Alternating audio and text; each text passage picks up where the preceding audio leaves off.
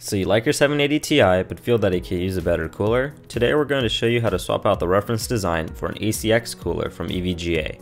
The first thing you'll want to do is get your Torx T6 screwdriver as it is necessary to remove most of the screws found on the bottom of the card. There are a total of 9 Torx screws on the right side of the card that you're going to want to take out first. Then on the left, you'll find a couple more accompanied by 4 Phillips screws securing the cooler to the GPU. The last screws that you'll need to remove are two more Phillips that are located on the rear I.O. bracket. These you can remove last. After you have the cooler removed, you can go ahead and discard the old thermal pads if you have new ones available. Now that you have the GTX 780 Ti in its spare PCB form, you can truly admire the complexity that goes into designing such a card. Before attaching the new cooler, you're going to want to use rubbing alcohol to remove the old thermal paste from the GPU. Applying new thermal paste will provide better temps as opposed to reusing the old paste.